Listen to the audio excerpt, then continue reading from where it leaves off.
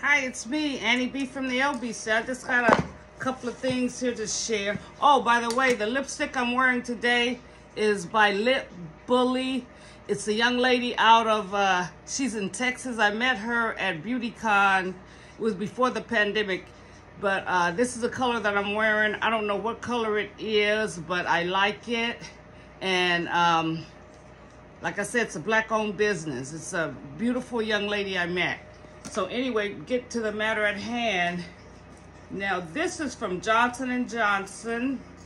I received this yesterday, so I don't know what it is, so we're gonna open it together. I hope everyone is having a fantastic day.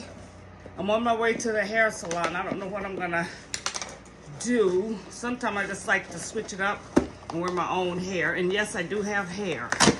So let's see what this is. Okay. Oh, this is Neutrogena Retinol Moisturized Sunscreen. So uh, I love a, a, a, moisturizer that's a retinol and also a sunscreen. Okay, thanks Neutrogena. And I think this is from Home Tester Club. I'm not really sure. And then the other thing I received, you know I love free stuff.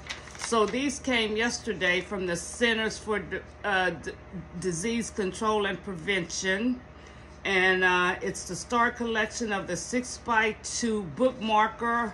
I received 10 of them.